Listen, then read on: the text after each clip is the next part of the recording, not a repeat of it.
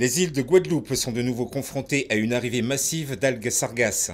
Parmi les communes les plus touchées, Capesterre de Marie-Galante. Son littoral est entièrement recouvert et entraîne la nécessité de gros moyens pour l'évacuation des algues brunes. Tout le monde sait que nous pas de moyens, mais pour communes, pas de moyens, même la communauté de communes, nous pas de moyens. Mais la France, parce que là, son phénomène, de santé publique, la France, il faut quand même qu'elle occupe des, des, des, populations là. Donc il faut qu'elle mette les moyens pour qu'elle résoudre le problème là. Ça. Côté municipalité, on comprend l'exaspération de la population qui subit régulièrement cette pollution dangereuse. Le maire aussi n'en peut plus, puisque ça fait sept ans que je me bats pour qu'on trouve une solution. Je dis, et j'insiste bien une solution pérenne pour que définitivement on puisse enrayer ce, fléau. En plus, le gouvernement français ne reconnaît pas que c'est une catastrophe naturelle.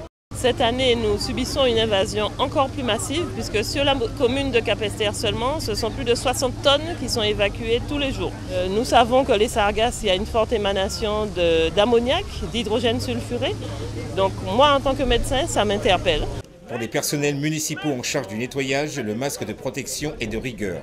Un masque euh, pour nous faire ça travail parce que là où vous voyez du savoir ça décomposé, il y a un gaz et d'après 104 ans, il toxique. Donc nous sommes obligés de travailler avec, ça n'est pas évident, mais nous sommes obligés de travailler avec quand même. Un travail quotidien qu'il faudra recommencer jusqu'à ce qu'une solution soit trouvée.